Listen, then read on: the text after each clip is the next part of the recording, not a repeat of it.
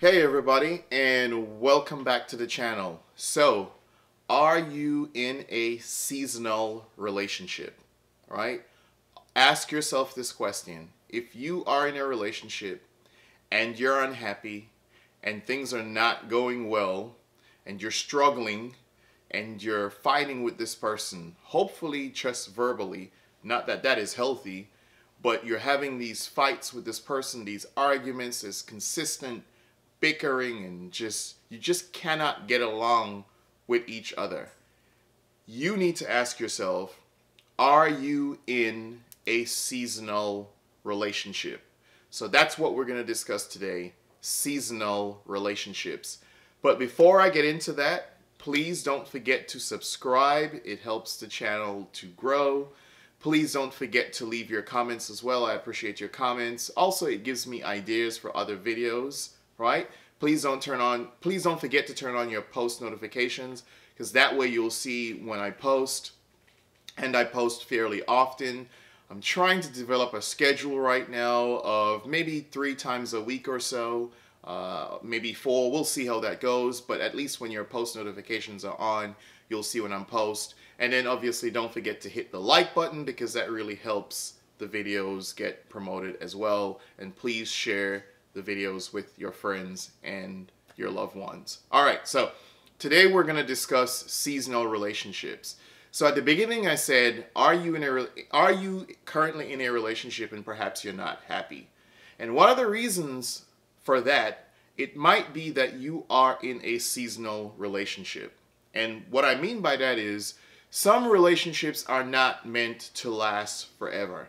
Some relationships are not meant to last forever. Some relationships are just seasonal, right? They're like the seasons that we go through. If you happen to live in a place, uh, in a culture or in a, in a country where you have different seasons, so some relationships are just that. They're seasonal. Some people are only supposed to be in your life for a period of time, and I call that a season, right? And during that period of time, they're supposed to perhaps teach you something. And if they're not supposed to do it, then the good thing is you can learn something from them. Now, when a relationship ends, it doesn't mean necessarily that the person is bad, right? Or you're bad. It just means that that relationship has, it ran its course and so it's over. And so what we should do, I believe, when we when we're in relationships, in any relationship, even in a relationship that could last for 50 years, what we should do is we should always be constantly learning because we learn different things from people as we interact with them every single day. Someone that you've known for five years or 10 years could surprise you and teach you something and make you aware of something that you didn't even think was possible. So some relationships are seasonal and we're not meant to be with some people. So what happens when we decide to hold on to certain people, to hold on in certain relationships, all right, when we decide to turn seasonal relationships into long term relationships, that's when unhappiness can come in. So there comes a point when you realize, and a lot of times we know, we realize when we're supposed to let someone go. It's time for them to go. It's time for you to move on.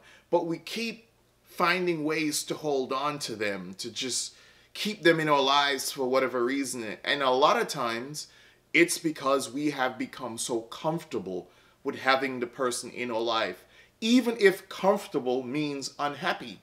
Sometimes there are people who are unhappy, but believe it or not, they they are comfortable being unhappy. Right? Think about it, because if you were so uncomfortable, right, so uncomfortable to the point you might want to get let the person go, but they already know what they have, and so they we find ways psychologically to deal with what we have to put stuff in compartments and to isolate the parts that we don't like and to appreciate the things that we do like. And so we keep people in our lives a lot of times that way that are not supposed to be in our lives. Seasonal relationships. One reason too that we also keep people in our life past their season is for pity, because of pity, because we feel sorry for them. Maybe the person just lost their job and we're trying to help them out. And that's noble. I'm not saying that you can't help someone. Maybe they've fallen ill and that was not the best time for you to walk away from them. That's fine. I could understand you wanting to stick around to make sure that someone feels well. But you've got to be careful to what extent you go with that. To what extent is pity? Because you're also confusing someone the longer you stay in their life. So, yes, I agree you can help someone. You can stick around long enough to make sure that they're okay, to make sure that they find a job, to make sure that they're healthy again, that sort of stuff. But then after that, I think you have to let this person know that you can't just stick around because you're sorry for them, right? And maybe even when you you're, you're helping them and making sure that they're doing okay, you have to let them know that this is the only reason why I'm still here. It's because I'm trying to make sure that you're okay. Because what happens is you're actually being dishonest to the other person, making them feel that you actually want to be with them when the only reason you're in a relationship with them, quote unquote relationship with them, is because you have pity. You feel sorry for what they're going through. You have some kind of compassion for them. Loving someone because you only have compassion for them is a hard thing, right? It's a difficult thing to just say, I'm going to love you out of pure compassion. Because I feel sorry for you, I'm going to love you. I mean, that doesn't quite go together all that well. So, some relationships are completely seasonal. Someone is supposed to, it means that that person is only supposed to be in your life for a short space of time. And what happens if you try to hold on to something that is not for you, that it's gone no beyond the expiration date, so to speak? What happens to food when it goes beyond the expiration date and you eat it, then it could hurt you. You could end up sick. And you could and and the sickness a lot of times that happens in a relationship is you end up mentally scarred.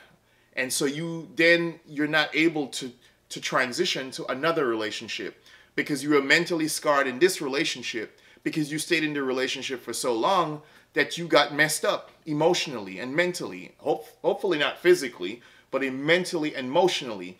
And so that's because you stayed in the relation, the seasonal relationship too long. And so now when you're ready to move on to another relationship, you can't be good for that person or good for yourself because you're scarred from your previous relationship because you stayed, you tried to extend the season when the season was over.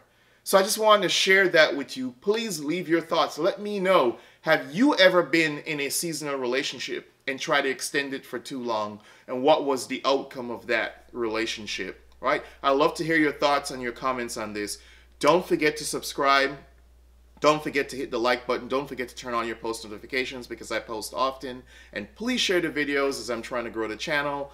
Looking forward to your comments. Until next time, peace.